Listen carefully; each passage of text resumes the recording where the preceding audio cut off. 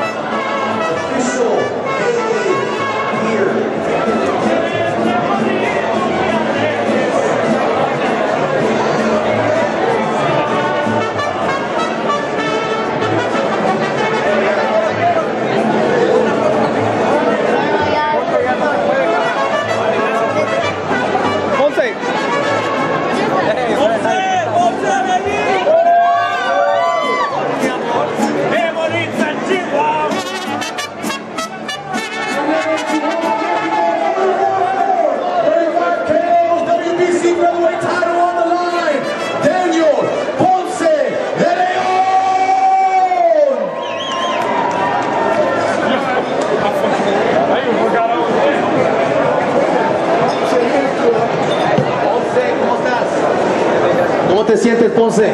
Me siento muy bien, bien listo, listo ya. ah, ya es la hora.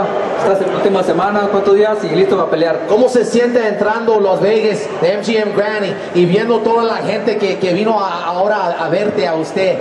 Se siente bien, les agradezco a todos, gracias por venir y a toda la prensa también, a Golden Boy, a mi equipo, a toda la gente, les agradezco mucho y que viva México. Said he's very thankful for all you being here. Mexico lives. Alfonso, te quería decir también que mucha gente están diciendo que esta pelea va a ser un, un- war con usted y Abner Mares. Mucha sangre, you know, you know, como tienes man- manos de pierda. ¿Y qué piensas de eso? ¿Va- va- ¿Vienes por un no- a, a noquear a Abner Mares o, o ves esta pelea, esta pelea, you know, 12 rounds de, de puro, you know, brawling back and forth, back and forth? Yo vengo preparado para todo, para una guerra, para tirar golpes, desde que estoy en la campana. ah, yo no me voy a cansar hasta que se termine la pelea de, de tirar golpes. Yo, para mí, lo más importante es ganar y dar una pelea a toda la afición, a toda la gente que está aquí, que salga contentos el sábado después de que se acabe la pelea. Y pues estoy listo para lo que sea, para noquear o para ganar decisión, lo que sea, estoy listo para, para lo que venga.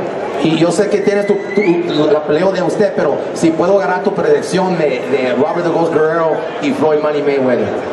La verdad que pues es un pronóstico reservado, la verdad.